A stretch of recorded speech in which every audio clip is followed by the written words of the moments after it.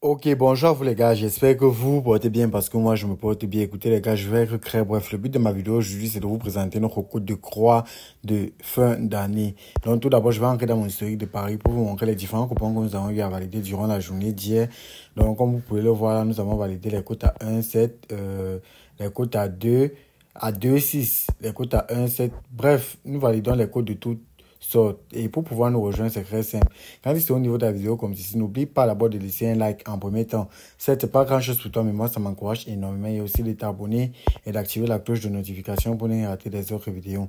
Bref, quand tu es au niveau de la vidéo, tu vas cliquer ici là comme ceci. Puis tu vas aller sur afficher, puis tu verras le lien du canal. Lorsque tu vas cliquer dessus, ça va te conduire directement dans notre chaîne. Étant déjà dans notre chaîne, tu vas bénéficier des coupons en live et en combiné tout au long de la journée gratuitement.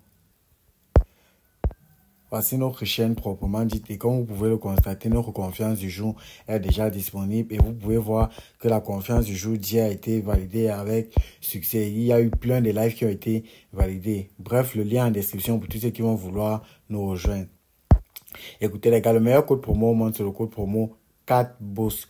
4 boss pourquoi? 4 boss te donne 250% de bénéfices lors de ta première recharge. 4 boss te permet de bénéficier d'un remboursement à jusqu'à 25% en cas de perte. Et 4 boss te donne la possibilité de gagner plein de bonus le lundi, le mercredi et le vendredi qu'on appelle généralement le spécial Friday. Bon, notre code de croix comporte 4 événements. Le premier match est celui de futur. Il s'agit de l'équipe de ne va pas perdre et total moins de 4,5.